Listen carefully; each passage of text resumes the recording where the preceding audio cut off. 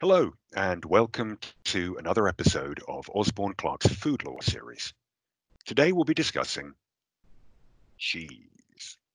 Well, actually, we're looking at new proposals in the UK for regulating ads for products that are high in fat, salt, or sugar, otherwise known as HFSS. But as we'll explain, these proposals may impact on a surprisingly wide range of products. I'm Nick Johnson, Head of Advertising Law at Osborne Clarke, and I'm also here today with Katrina Anderson, one of our food law specialists. In June 2018, the UK government set an objective to halve childhood obesity by 2030 and to, quote, significantly reduce the gap of childhood obesity in deprived areas. According to the statistics, more than one in five children in England is obese or overweight by the time they start primary school, rising to more than a third by the time they leave. Obesity has also been identified as a significant risk factor in relation to COVID. As a consequence, the government has now set out its stall in response to the 2019 consultation on further advertising restrictions for HFSS food, the most high profile of its proposals being a pre watershed ban. Katrina, could you explain what the government's plans are in relation to ads for HFSS foods? Absolutely. Uh, well, the government has announced that it intends to ban adverts for these um, HFSS foods between 5.30am and 9pm on broadcast television. Interestingly, the same rules are going to apply for video online adverts, so they're also going to be banned during this period. And this is very much in recognition of the fact that children are increasingly consuming their advertising online rather than on traditional TV. Now, both of these proposals were part of Theresa May's government consultation, which Nick alluded to, um, which was in 2019. And that was a consultation on further measures to deal with childhood obesity. However, Boris has decided to go a little bit further and has proposed an additional consultation on a total ban of HFSS advertising online. And we're told that we should expect this consultation to be launched imminently.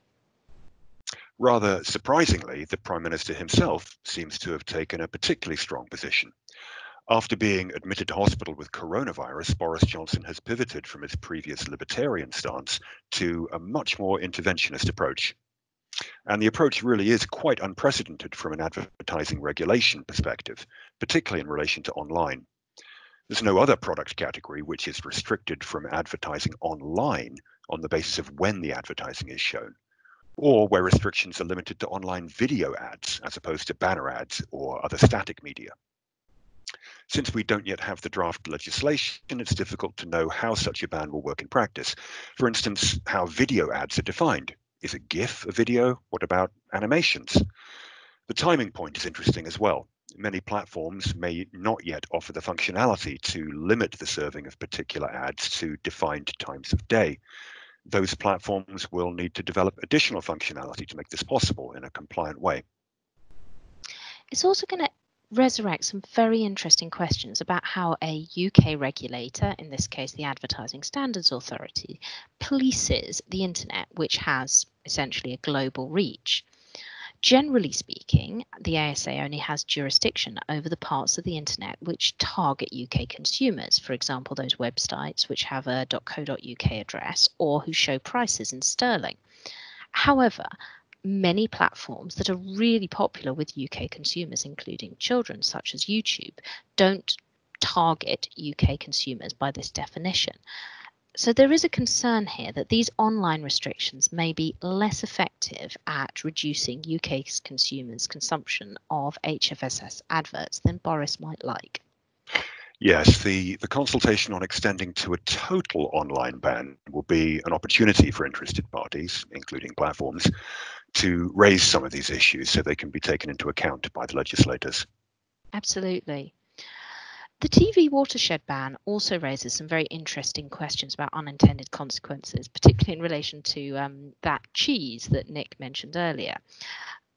It, by way of background here, the, the current restrictions that we have on HFSS ads are very much about targeting adverts at children. So you can still have HFSS ads, um, it, but they just have to be targeted at adults in their appeal and also to make sure that the audience is uh, not over 25% um, under 16 year olds.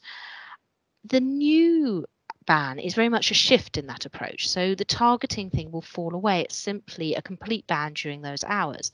So products like cheese, which we think of as healthy as part of a, an overall diet, suddenly will be subject to a ban um, during quite extended parts of the day, whereas previously they would have been able to advertise just simply targeting adults.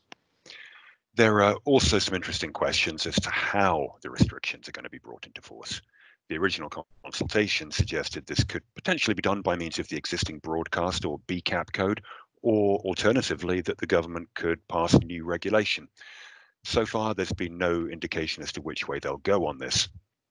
This will be an interesting issue for us to monitor because if specific new statutory regulation is introduced, then the sanctions for breach could potentially be serious.